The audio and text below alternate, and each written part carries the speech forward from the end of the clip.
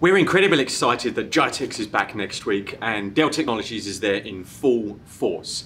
We have a large stand with experts all over the stand to talk to you about current technology, future technology, and where you need to be positioned for the future to make sure that you are ready for whatever is going to happen and how you can position yourself and your customers for success in the future. Can't wait to see lots of customers, lots of our partners.